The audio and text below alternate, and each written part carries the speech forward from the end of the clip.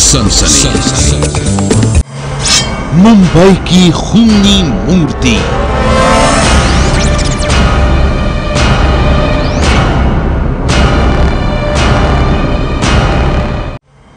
ये कहानी है मुंबई की। मूर्ति कला के ज़रिए देश विदेश में नाम कमाने वाली एक ऐसी आर्टिस्ट की जिसकी मौत की वजह बन गई एक मूर्ति। और अब उसकी मौत के बाद उसकी ज़िंदगी के खुलासे से फैली है सनसनी। मूर्ति कला और फोटोग्राफी की दुनिया का बड़ा नाम थी, लेकिन कोई था जो उस कलाकार के लिए बिछा रहा था साजिश की बिसात। और फिर एक रोज सामने आई दुनिया में नाम कमाने वाली उस कलाकार के कत्ल की खौफनाक कहानी।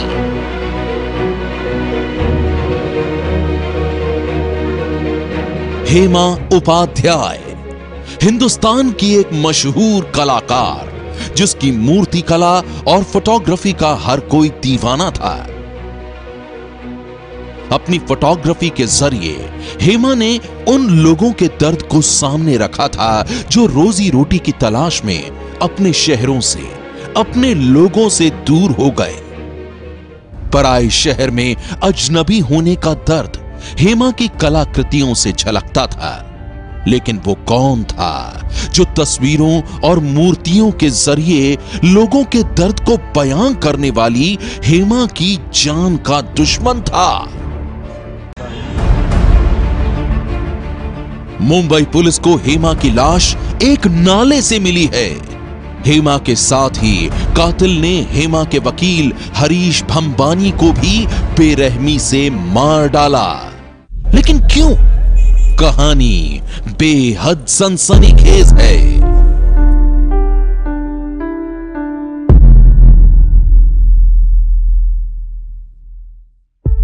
देश और दुनिया में अपनी कला का जलवा बिखेरने वाली हेमा उपाध्याय के कत्ल की तहकीकात में पुलिस ने किया है एक बड़ा खुलासा पुलिस के मुताबिक हेमा और उसके वकील हरीश भंबानी के कत्ल के पीछे की वजह थी पैसा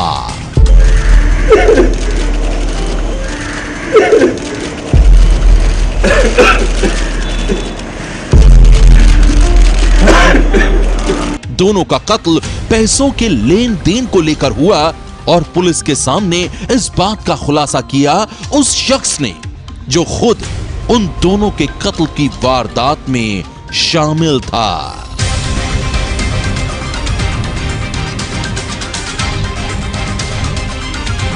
मुंबई पुलिस ने उत्तर प्रदेश पुलिस के साथ मिलकर साधु राजभर को वाराणसी से गिरफ़्तार किया है।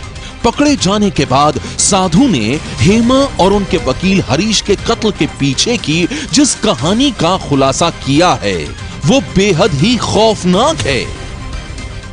साधु ने पुलिस के सामने खुलासा किया है कि डबल मर्डर की इस सनसनीखेज साजिश का वो एक मोहरा भर है। कत्ल की इस कहानी का असली मास्टरमाइंड तो कोई और है, और वो है विद्याधर राजभर। यूपीएसटीएफ और मुंबई पुलिस के साझा ऑपरेशन में विद्याधर राजभर के रिश्तेदार, उसके साथ काम करने वाले साधु राजभर को वाराणसी से गिरफ़्तार किया गया है और बहुत जल्द विद्याधर राजभर को भी इस मामले में गिरफ़्तार किया जाएगा। साधु राजभर ने अपना गुनाह कबूल करते हुए उसके पास मौजूद 11 बैंक के cards ATM credit card debit card जो थे, जो हेमा उपाध्याय और एडवोकेट हरीश भंबानी के नाम पर थे, उससे बरामद किए और साधु राजभर ने यूपीएससीएफ को यह बताया है कि विद्याधर राजभर के कहने पर साधु राजभर और अन्य लोगों ने मिलकर इन दोनों की हत्या की। पकड़े जाने के बाद शिव कुमार उर्फ़ साधु राजभर ने पुलिस के सामने खुलासा किया है कि विद्याधर के साथ हेमा का कुछ पैसों के लेन देन को लेकर झगड़ा चल रहा था। शुक्रवार की देर शाम विद्याधर ने फ़ोन करके हेमा को मिलने के लिए कांदीवली के लालजी पाड़ा के एक गोडाउन में बुलाया। वो गोडाउन विद्याधर ही चलाता था। सूत्रों के मुताबिक, उसी गोडाउन में हेमा अपनी कलाकृतियाँ बनाया करती थी। वो उस जगह को अपनी कलाकृतियाँ रखने के लिए इस्तेमाल किया करती थी। हेमा विद्याधर से मिलने के लिए अकेले नहीं जाना चाहती थी, इसलिए उसने अपने वकील हरीश भंबानी को भी साथ ले लिया। गिरफ्त में आए शिव कुमार उर्फ़ साधु राजभर ने पुलिस के सामने खुलासा किया है कि वहाँ उन लोगों में पैसों के लेन देन को लेकर कहा सुनी होने लगी। और फिर मास्टरमाइंड विद्याधर के कहने पर उसने और उसके साथियों ने हेमा के वकील हरीश के हाथ, पैर, मुँह और आँख टेप से बाँध दिए। हेमा के हाथों को भी बाँध दिया और फिर गला दबाकर उन दोनों का कत्ल कर दिया। उस रात को राजभर ने ही इन दोनों को पैसे देने के मामले में, पैसे देने के लिए बुलाया था और ये भी कहा था कि जो हिसाब किताब है, वो पूरा कर दिया जाएगा और कुछ जानकारी भी वो देगा। ये कहकर उन दोनों को यहाँ बुलाया। बाद में उनके बीच कहा सुनी हुई। राजभर और उसके साथ काम करने वाले इन लोगों ने उनकी हत्या की। गोडाउन में हेमा और वकील हरीश भंबानी का कत्ल करने के बाद अब बारी थी उनकी लाश को ठिकाने लगाने की। पुलिस के मुताबिक आरोपी शिव कुमार उर्फ़ साधु राजभर ने खुलासा किया है कि उन सभी ने दोनों लाशों को कार्डबोर्ड के बॉक्स में डाला और उसमें बाहर से टेप लगाकर बंद कर दिया। इसके बाद वो सभी उन दोनों की लाशों को लेकर मुंबई के कांदीवली के इस नाले में पहुँचे और यहाँ उन दोनों बॉक्सेस को फेंक दिया। और बाद में ये सब लोग जो है अपने अपने रास्ते निकल गए और विद्याधर और साधु जो है यूपी के रास्ते निकले। अब मुंबई पुलिस विद्याधर राव को गिरफ़्तार करके इस हत्या के पीछे की वजह क्या है, वो जानने की कोशिश करेगी, क्या पैसा या और भी कोई वजह है? दोनों लाशों को ठिकाने लगाने के बाद सभी आरोपी वहाँ से फरार हो गए। मास्टरमाइंड विद्याधर राजभर और साधु राजभर वाराणसी के लिए रवाना हो गए। इधर देर रात तक जब हेमा और हरीश अपने घर नहीं लौटे तो दोनों की गुमशुदगी की खबर भी पुलिस तक जा पहुँची। पुलिस उनकी तलाश कर ही रही थी कि अगले दिन कूड़ा बीनने वाले लड़कों की नज़र बॉक्स पर पड़ी। उन लड़कों ने बॉक्स को खोलने की कोशिश की तो उन्हें दिखाई दी बॉक्स में बंद लाश। इसके बाद उन लड़कों ने फ़ौरन मामले की इतला पुलिस को दे दी। मुंबई पुलिस का दावा है, इस हत्या के पीछे का मकसद जो है, वो पैसा बिज़नेस राइवलरी या बिज़नेस में जो लेन देन होता है, उसको लेकर यह हत्या की गई है। और इसमें जो अन्य लोग शामिल हैं, उनको भी मुंबई पुलिस ने हिरासत में रखा है। रविवार की सुबह पुलिस ने दोनों लाशों की शिनाख्त हेमा उपाध्याय और हरीश भंबानी के रूप में कर ली। लाशों की शिनाख्त होने के बाद अब पुलिस के सामने डबल मर्डर की इस साजिश के राज को सुलझाने की चुनौती थी। किसी सुराग की तलाश में पुलिस ने अपने मुखबिरों की मदद ली। जल्द ही पुलिस को पता चला कि एक टेंपो के ज़रिए दोनों बक्सों को नाले तक लाया गया था। इस जानकारी के मिलने के बाद पुलिस ने फ़ौरन उस टेंपो ड्राइवर की तलाश शुरू कर दी। जल्द ही पुलिस उस तक जा पहुँची और फिर उस टेंपो ड्राइवर ने पुलिस को उस गोडाउन तक पहुँचा दिया, जहाँ हुआ था दोनों का कत्ल। जिस गोडाउन में हेमा और हरीश का कत्ल हुआ था, वो विद्याधर राजभर का था। पूछताछ में पुलिस के सामने साधु राजभर ने खुलासा किया कि उसका किसी मूर्ति को लेकर हेमा के साथ विवाद चल रहा था। और उसी विवाद ने पूरी कहानी को दे दिया एक खूनी रंग। इसी दौरान पुलिस ने तीन लोगों को हिरासत में लिया। गोडाउन की जाँच के दौरान पुलिस के सामने दो और नाम आए और वो नाम थे विद्याधर और साधु राजभर। पुलिस ने जब उन दोनों की तलाश की तो वो गायब थे। उनके फरार होने की वजह से पुलिस का शक और ज़्यादा गहरा हो गया। पुलिस ने फ़ौरन उनके बारे में जानकारी जुटानी शुरू कर दी। जल्द ही पुलिस को पता चला कि वो दोनों उत्तर प्रदेश के वाराणसी के रहने वाले हैं। इस इतला के मिलने के बाद पुलिस की एक टीम फ़ौरन वाराणसी पहुँची और फिर दोनों में से एक साधु राजभर उर्फ़ शिव कुमार पकड़ा गया।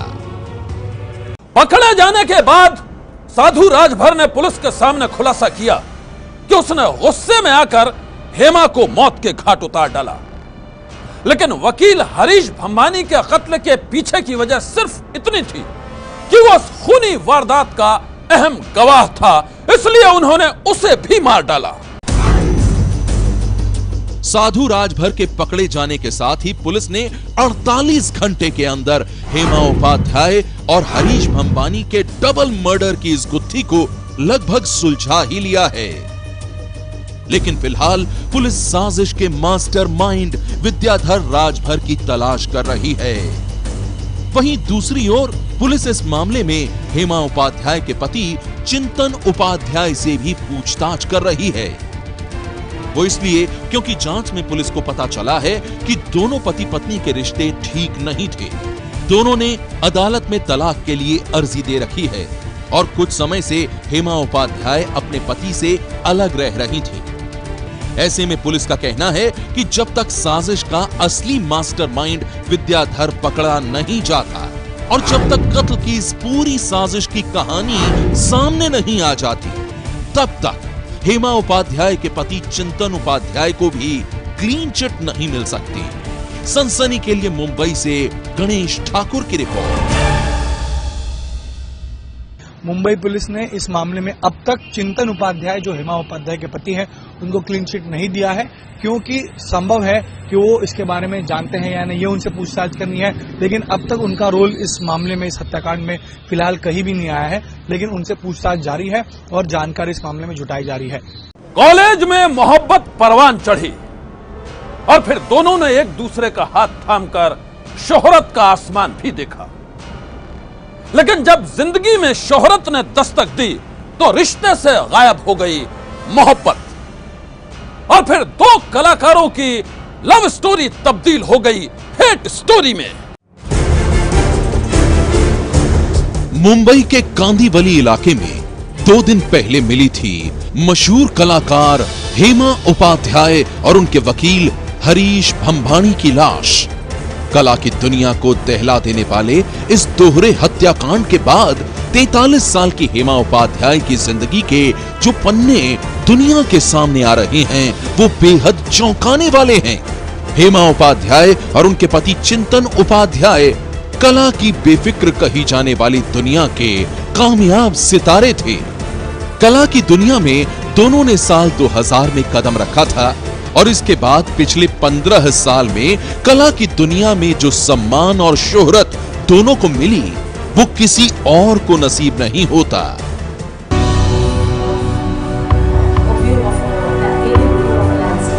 कला की दुनिया में कहा जाता था कि दोनों की कामयाबी की वजह थी दोनों का एक दूसरे के लिए प्यार और अपनी कला के लिए जुनून।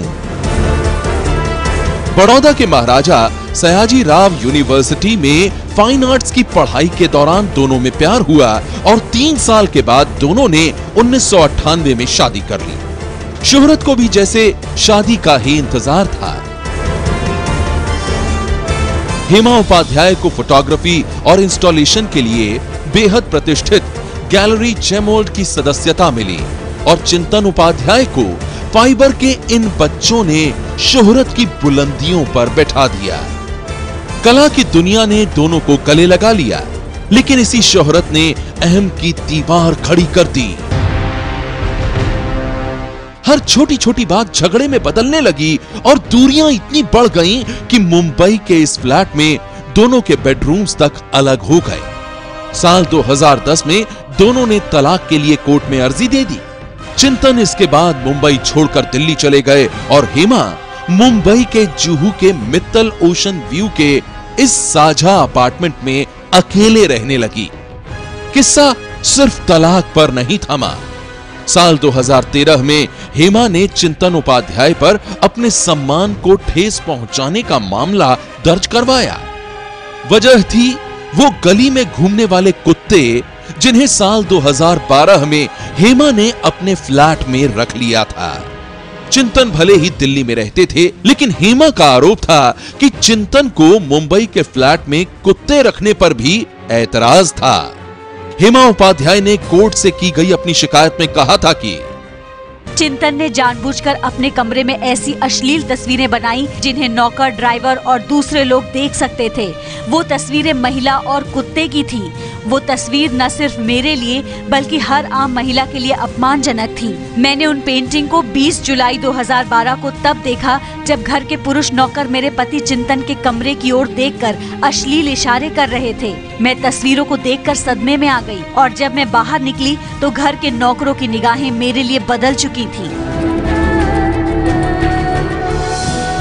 चिंतन उपाध्याय ने इस आरोप के जवाब में कलाकार की आज़ादी का सवाल उठाया था, लेकिन मामले में अब तक कोई फैसला नहीं आया।